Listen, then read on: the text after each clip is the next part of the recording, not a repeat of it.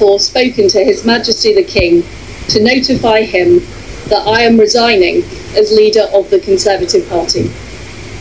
I will remain as Prime Minister until a successor has been chosen.